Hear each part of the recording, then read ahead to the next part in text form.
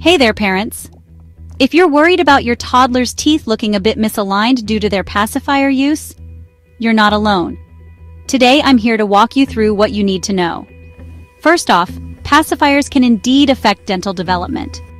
According to the American Dental Association, prolonged use of pacifiers can lead to issues like misaligned teeth and even changes in the shape of the roof of the mouth. But don't panic just yet. So, will your child's teeth correct themselves with time? Well, it depends. The key factor here is the duration and intensity of pacifier use. If your toddler has been using a pacifier extensively, especially beyond the age of 2 to 4 years, it might take a bit more intervention. Research indicates that if pacifier use is stopped by around the age of 2, many dental issues can self-correct as the child grows. However, if pacifier use continues beyond this age, the likelihood of the need for orthodontic treatment increases. Now, let's talk about the theories behind this.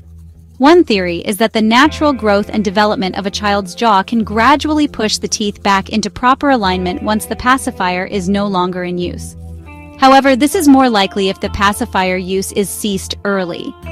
Another theory involves the concept of oral habits. If your child replaces the pacifier with thumb sucking or other habits, the misalignment might persist or even worsen. So, what can you do? If you notice your toddler's teeth looking misaligned, try to wean them off the pacifier gradually. Encourage other comforting techniques like cuddling or using a special blanket. And always consult with your pediatric dentist.